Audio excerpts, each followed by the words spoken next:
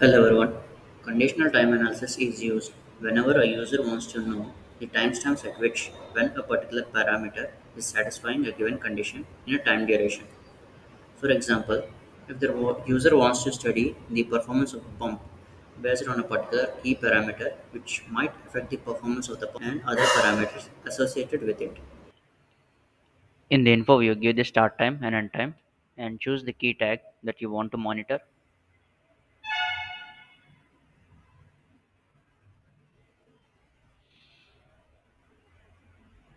and select the desired metric in the tag details.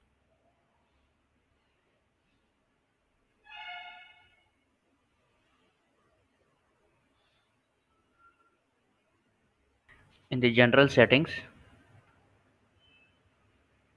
select show as table and in the view related, enable condition times.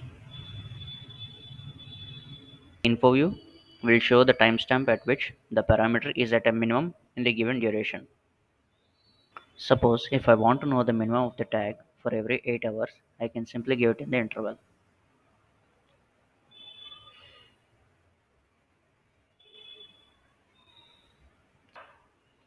So here you can see the minimum value of the tag in every 8 hours. Users can also add other tags and find out what were its values during the minimum or any other condition. So here you can see the values of the tags associated with this minimum values.